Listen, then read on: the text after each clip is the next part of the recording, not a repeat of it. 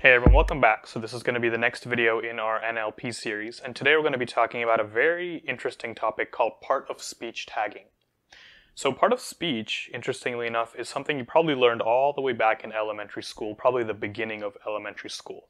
So let me give you a quick refresher just in case you forgot, and then we'll talk about why we might want to do this, why it's important to do, and then we'll talk about one of the very popular methods to do that and talk about some consequences going forward. But starting from the basics. What is part of speech tagging? So we have three sample sentences here. For example, the first one says, I like his watch. Now, in English and most other languages too, each word is belonging to a general category called a part of speech. For example, some easy ones are nouns and verbs. Nouns being people, places, or things. That's what we first learn in elementary school.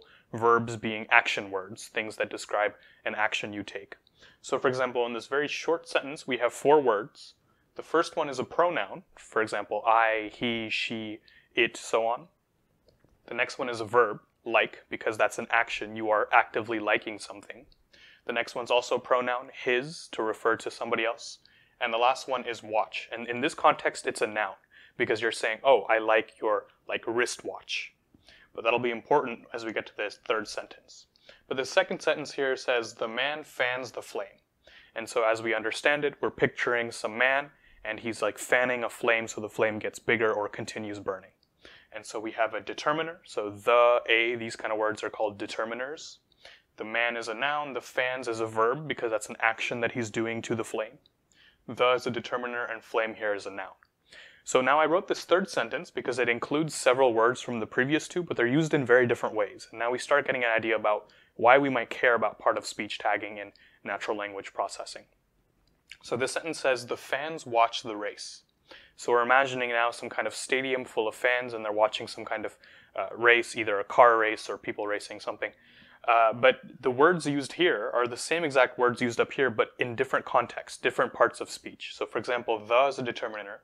Here, fans is a noun because we're talking about spectators or humans who are watching something rather than the action of fanning something. Watch here is a verb although before we were talking about watch as in wristwatch, here we're talking about the action of actively watching something. Here this is a determiner and race here is a noun. I didn't use the word race before, but race can also be a verb. For example, I race you in this uh, competition. Versus here, we're talking about the physical like, race that's going on. So we see now there's a lot of ambiguous situations. Sometimes it's even hard for humans to discern whether this is a verb or a noun in the context it's used. And so we want to make sure that the computer is understanding the meaning of sentence or paragraph correctly. And part of that is going to be understanding what part of speech everything is. So here's some applications of why we care.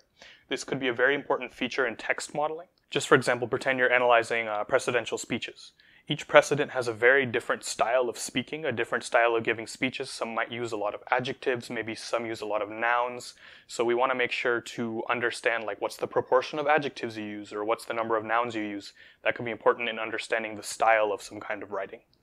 We might also want to use it for something interesting called autocomplete. So when you're going in Google and you type something like, I want to, how does it figure out what's the next word? Part of that is going to be part of speech tagging because we know that I want to uh, and then the word pizza probably wouldn't come after that because pizza is a noun and we're probably looking for a verb of some kind. So that's going to be important. And also word ambiguity resolution, as we talked about here. We want to be able to take a word like watch and figure out if we're talking about it as a noun or as a verb, and so on. So this is what it is and why we care. Now let's talk about the two biggest classes of methods to deal with this. The first one, we won't go too deep into this one, but I want to introduce it, is rule-based. So you can think of rule-based part of speech tagging as basically a huge uh, set of if-then statements that are trying to capture all of English language rules. So for example, you could say like, oh, if it's a noun, then the next thing would have to be this. Or if you see a noun, then maybe after this we'll have this. So basically what it's trying to do, this might be written by um, an expert, for example, a linguistics expert, and we're trying to basically capture all possible combinations. Now, this the pro of this, of course, is that we're directly taking into account the language. We are not basing uh, we're not basing it on probability. We're not basing it on statistics. It's based on linguistics. But the con, of course, is that there's just so many cases we're going to have to consider that we're not going to be able to get all of them, and so we're going to have to default back to this second case anyway. But there is definitely pros to this method, especially if you have a very uh, rigid set of rules for what part of speech things can be in the particular text you're looking at. But the way that we go about it more, and we have a lot of tools for this, is stochastic or probability based, and specifically using this old tool that we learned a little while ago called the hidden Markov model. So I will say here that it's best if you come into this video having watched the hidden Markov model, which I'll link below. You don't absolutely have to watch it, but I think that it's better because you'll see that what I'm about to talk about is just a application of the hidden Markov model. It's not something completely new. So natural language processing just uses the hidden Markov model, which is used in other fields as well. So it'll be easier for you to understand. But the hidden Markov model treats this sentence as a very interesting structure. So again, if we go back to the hidden Markov model, the premise is that we observe some states. So for example, we look at a sentence such as the fans watched the race, and we observe that. We can see that on the piece of paper in front of us. Now, the hidden Markov model, as the name hidden suggests, also says that there are some hidden states, some unobserved states, which generated the observed states that we did see. And this particular implementation of the hidden Markov model says the hidden states are exactly the parts of speech. So putting it all together and kind of telling the story from the beginning, this application of the hidden Markov model for part of speech tagging says there are some hidden parts of speech, some underlying parts of speech. For example, in this case, it's determiner, noun, verb, determiner, noun. That's, of course, hidden to us. But those states generate the states that we do see, the observed states. And that's what these vertical arrows are representing. Now the Markov part comes in because it says that the hidden states have transitions from one to the next. For example, if this one's a determiner, there's a certain probability that the next one's a noun. Then given this one's a noun, there's a certain probability the next one's a verb, and so on.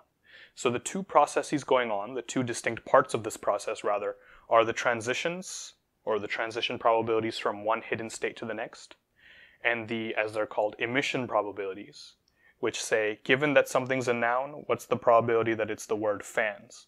Given something's a verb, what's the probability that it's the word watch?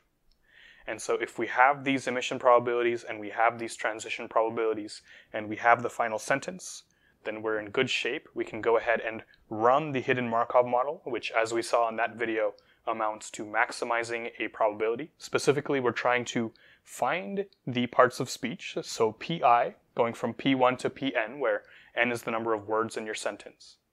These are all the parts of speech which are again hidden to us. So we're going to try every single one, every single setting of these parts of speech.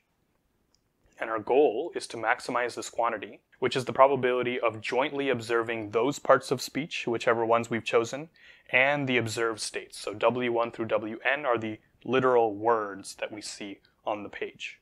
And so this probability, although it might look a little bit crazy, is answering the very simple question of what's the probability of seeing this sentence and some setting of hidden states? And we are going to pick those hidden states such that that probability is maximized because that's actually what we do observe in the real world. So we say that if we found the hidden states which maximize this probability, that's the most likely settings for the parts of speech, and so we go with those. So it's an easy enough concept to understand once you've sat and kind of thought about it for a while, but let's think about the biggest issue here. And we won't talk about how to resolve that in this video, that'll be the topic of the next video. But let's say, just moderately, that there's five different choices for parts of speech. There's actually many more choices for parts of speech in real life, but let's just say there's five. And let's say that you have 10 words in your sentence. That's a moderate length sentence. There's definitely sentences that are much longer, even. Now, how many different possibilities do you have to try for this probability? How many different uh, choices do you have to maximize over? Well, each of these P's has five options, five different parts of speech, and there's 10 of them total. So there's going to be 5 to the power of 10 different options for you to maximize over.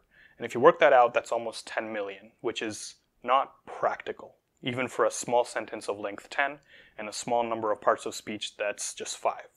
So we need some kind of more efficient algorithm than just doing a brute force search over all of these possibilities in order for us to do this part of speech tagging in any reasonable amount of time.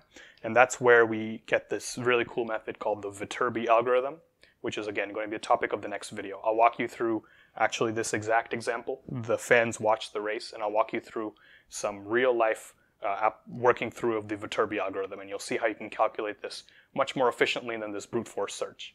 But the main thing I wanted you to get across in this video is that this is what parts of speech are, just a refresher. This is why we care about them, and this is one of the most popular methods for us to do this part of speech tagging. Maybe the last thing I'll say is that this is not the last method. Like, you can get even more complex than this. Notice that we didn't take into account, like, the two words before. The Markov model only takes into account the last word. But if we want to build an even more powerful model, maybe we take into account two words before, three words before, or the entire history of words before. So we can actually build on this model. But this is the general basis of part of speech tagging in natural language processing. So uh, hopefully you learned something in this video. Please like and subscribe if you did, and I will see you next time.